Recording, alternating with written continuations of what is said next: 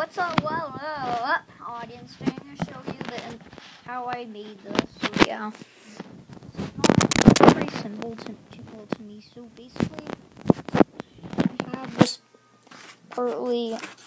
I have this folder. So then there's a handle on the bottom, and then before I just have these very yeah. Before I had tiny, tiny strings in there so that way they would be easy to pull, but I would also hold it up so it wouldn't just fall out.